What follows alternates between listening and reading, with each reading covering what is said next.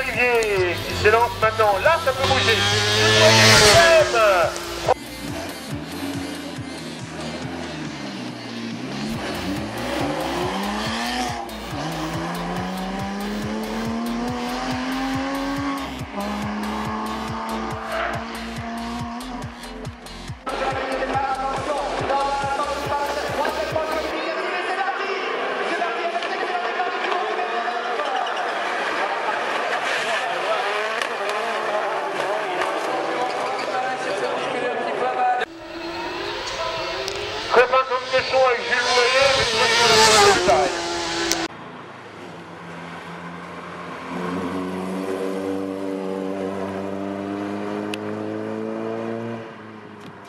Et derrière, avec son 600 CBR, eh bien, c'est au tour de Gilles Mongeau d'y aller.